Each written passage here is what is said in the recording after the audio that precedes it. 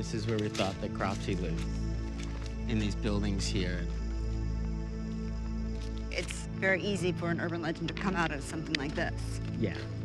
And we didn't think anything of it until kids started going missing on Staten Island. And then we were like, Cropsey's real. But do you think every urban legend has truth behind it? Yes, I think you have to have some form of like truth to kind of go off of.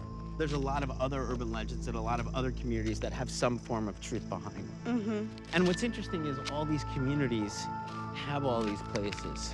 Well, every kid is lured to or fascinated by the old house at the end of their block.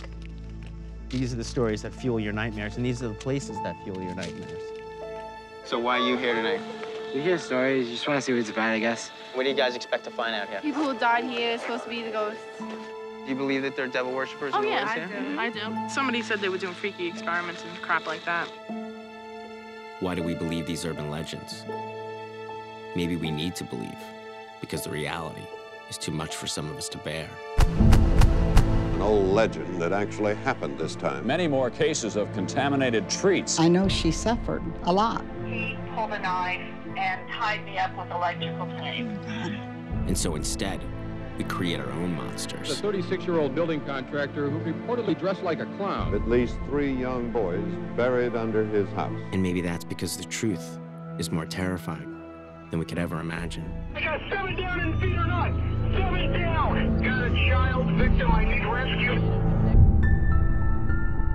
For Rachel and me, this is an attempt to uncover the source of our nightmares as we pull back the curtains on what it is we all fear.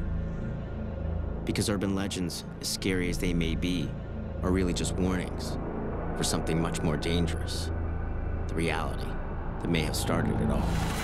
A Chiller original special, Killer Legends, premieres Sunday, March 16th at 8, only on Chiller. Scary good.